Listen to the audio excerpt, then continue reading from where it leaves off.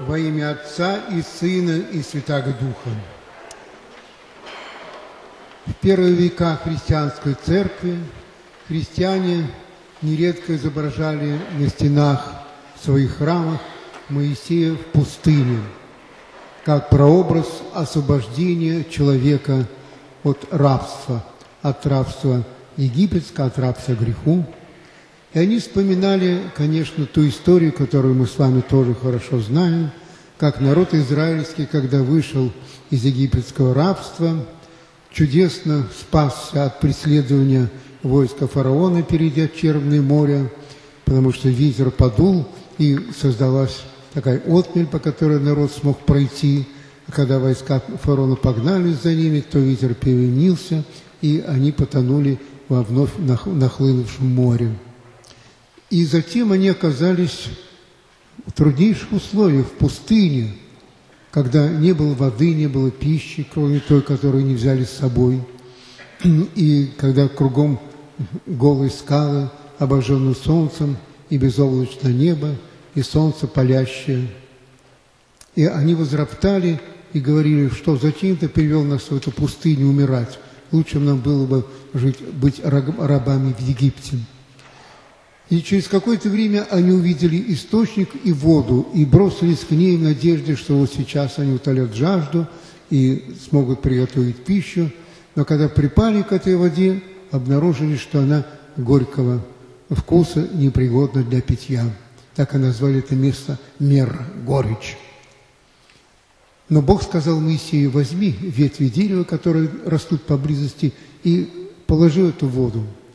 И произошло удивительное явление, что вода, эти ветви деревьев стали впитывать в себя соль, и вода становилась пригодной для питья. И для нас вот это образ, когда в нашей жизни мы удрученные какими-то тяжелыми обстоятельствами, болезнями, неудачами, каким-то событиям неприятным вокруг нас, мы обращаем свой взор к кресту и видим распахнутые Господом руки для каждого из нас.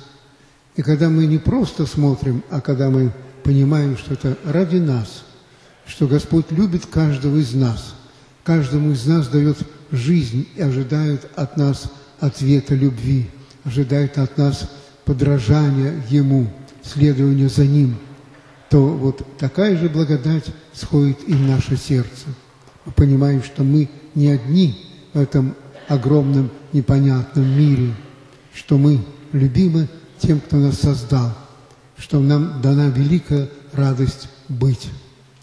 Но для того, чтобы эта радость действительно была с нами всегда, умножалась, то сегодняшний Евангелие нам и передает драгоценные слова Христа. Кто хочет идти за мной, то есть идти к Отцу, идти созидать добро вокруг себя, отвергни себя, возьми крест свой и следуй за мной.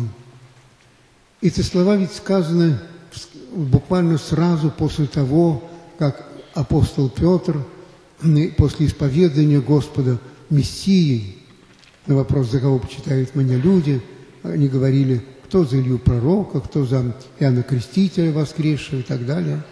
А он говорит, а вы за кого? И Петр ответил на этот самый главный вопрос для каждого из нас. Кто же Христос для меня? Ты Сын Божий, ты Мессия, то есть тот Спаситель, который должен прийти. И в ответ на это Господь стал говорить о том, что Сыну Человеческому надлежит много пострадать, быть убиту и в третий день воскреснуть. И Петр, отозвав Господа от учеников, стал говорить, помилуй себя, путь милости к себе, Господи. Зачем тебе такой путь избирать? Нельзя ли как-то по-иному спасти людей? И Иисус, который только что сказал ему, блажен ты, Симон, сын Ионин, потому что не плоть и кровь открыли тебе, Отец мой, который на небесах. И говорит довольно резко ему, отойди от меня, сатана, ты мне соблазн. Хотя Петр из самых лучших побуждений э, хотел сохранить жизнь учителя, но Господь ему говорит, ты думаешь не о том, что Божие, а о том, что человеческое. И вот поэтому, когда мы идем за Христом, нам так важно отвергнуть многие наши представления, заменить их на то, что нам говорит Евангелие, что говорит нам Господь.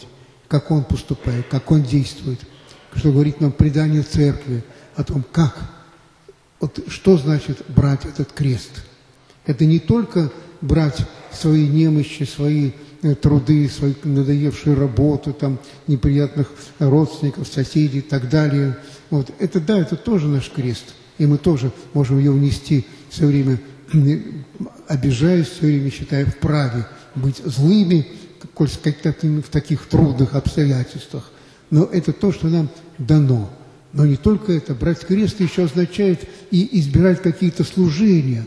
Служения, которые принесли бы пользу другим людям, которые были бы продолжением дела Христа в его борьбе со злом мира, окружающим нас.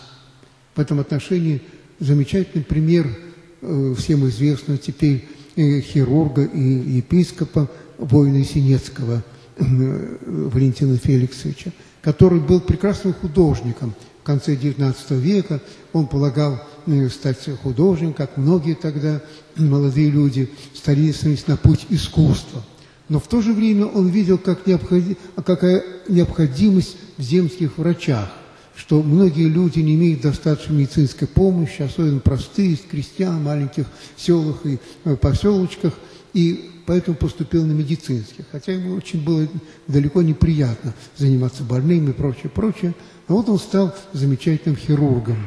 И потом стал и священником, и даже епископом, оставаясь при этом э, ученым и написал замечательную книгу, которая до сих пор имеет значение, стал не только заключенным, после этого стал лауреатом Сталинской премии и так далее.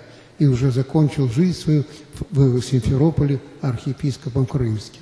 Вот замечательный пример человека, который, имея прекрасное не только желание, а талант служить искусству, избрал путь служения людям. И тоже достиг замечательных, удивительных результатов. Вот что означает главным образом взять крест и идти за Христом. Поэтому нам так важно в нашей жизни вспоминать о кресте. Мы все носим крест. Это знак того, что мы христиане, что мы ученики Христа. И вот поэтому стараться быть достойными учениками. Потому что главный, нас, а главный противник – это лень и нетерпение, раздражительность. Много, конечно, и другого – вот так важно постом нам избирать вот этот путь за Христом. Не случайно именно в середину поста ставится э, праздник э, э, поклонения Кресту. Давайте вот оставшееся время поста изберем вот этот путь несения своих немощах с терпением, с упованием на Бога, с призыванием Его милости и сил для того, чтобы нам быть достойными христианами, достойными учениками – что это радость, о которой говорит в конце Евангелия э, сегодняшнего чтения Господь, что некоторые стоящие здесь уже вскоре увидят Царствие Божие, пришедшее в силе. И оно видится не вокруг нас, а Господь говорит, вот Царствие Божие внутри вас, когда сердце наше обращено к Богу, когда оно наполняется благодарностью за жизнь, за, за бытие, за возможность э, обращаться к Нему, за возможность молитвы, за возможность приступать к божественной литургии, к той трапезе, которую Господь совершает ведь за несколько часов перед своими страданиями и смертью. Как важно то, что Он хочет нам это передать, как важно Он хочет нас приобщить через эту трапезу к своей жизни, к своему пути. Аминь.